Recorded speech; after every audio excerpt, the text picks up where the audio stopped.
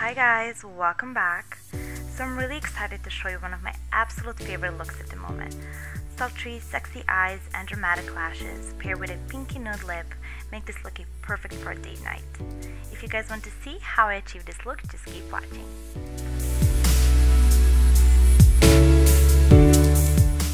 So first things first, I'm gonna moisturize.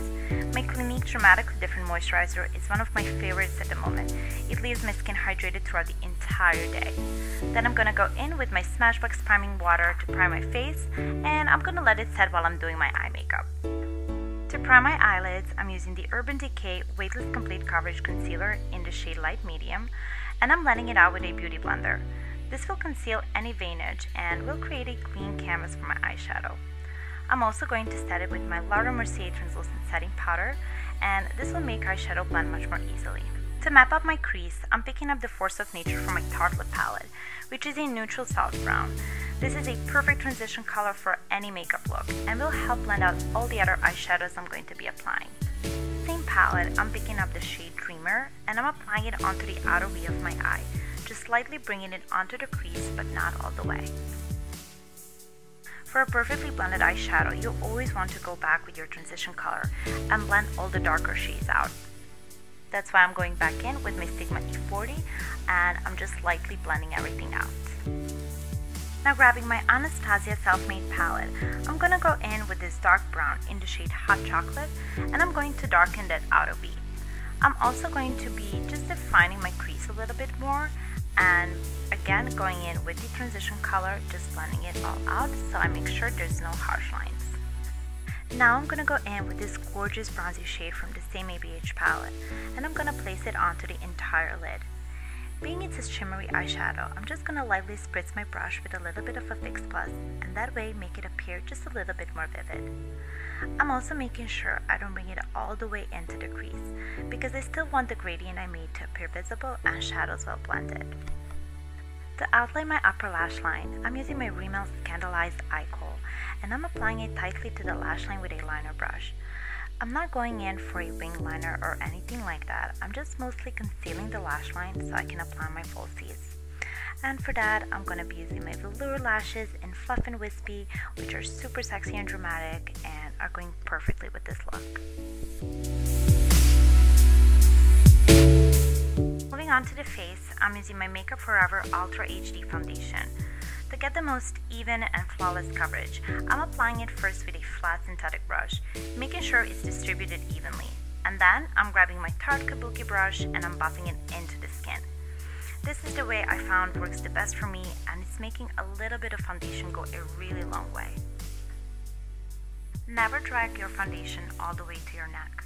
I see a lot of people making this mistake in fear not to have their neck differs from their face color, but actually the real tip is to stop your foundation right at the angle of your chin. It makes a perfect shadow for you to kind of phase it out.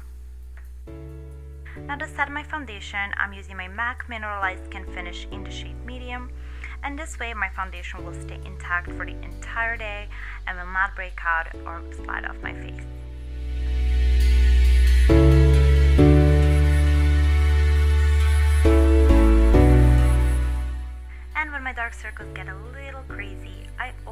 For my Becca Under Eye Brightening Corrector.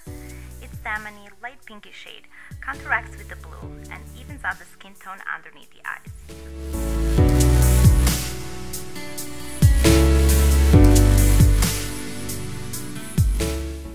To highlight, I'm using my Urban Decay Weightless Complete Coverage Concealer in the shade Light Medium, the same one I used to prep my eyelids, and I'm applying it onto the areas of my face I want to brighten up and bring forward. Underneath my eyes in the triangle form, down the bridge of my nose, center of my forehead, and onto my chin.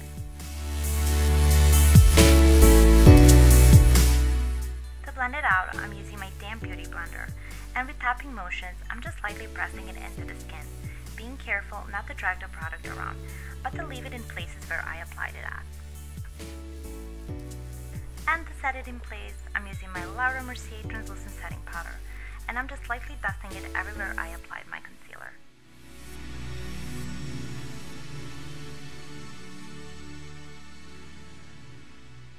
To contour my face, I'm using my all-time favorite contour kit by Kat Von D. To give my face some dimension, I'm picking up this medium ashy brown in the shade Shadow Play, and I'm applying it onto the hollows of my cheeks, sides of my forehead, and onto my jawline. So I just sort of mapped out where I want my contours to be the most prominent.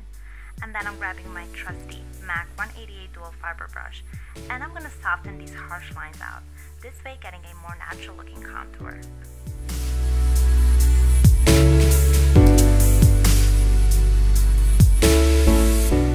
Anytime you're working with powder products, it's super easy to go messy. To clean out under my contour, I'm using one of these cosmetic sponges I always keep handy when doing my makeup. I'm dredging it onto the loose translucent powder and just placing it onto the areas I want to clean out or just make more neat looking.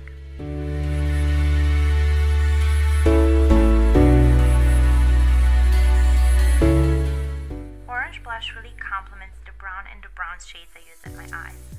That's why I'm grabbing this beautiful eyeshadow by Milani in the shade Mandarin and I'm lightly applying it onto the apples of my cheeks with my Real Techniques brush. And then I'm topping it off with a oldie but a goodie Luminoso by Milani. It's this beautiful baked blush that just gives a perfect amount of glow to my face. And then I'm just dusting off the excess powder and voila, our face is all done. To perfect my brows, I'm using my Anastasia Beverly Hills Brow Pomade in the shade Chocolate, and I'm just brushing it through my brows with a spoolie. Now to finish up the eyes, I'm grabbing the Hot Chocolate by Anastasia Beverly Hills, and with a flat definer brush, I'm applying it as close as possible to my lower lash line. Then, I'm grabbing the transition shade, and I'm smoking it all out with a pencil brush.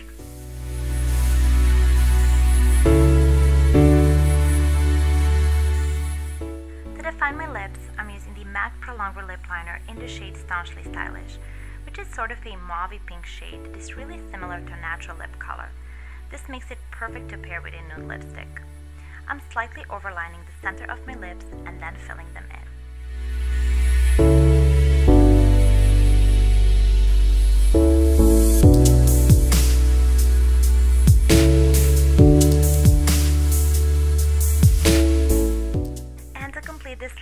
in. With my Anastasia Beverly Hills liquid lipstick in the shade Pure Hollywood, which is my absolute holy grail of nude lips. It is so beautiful and I really think it complements this look so well.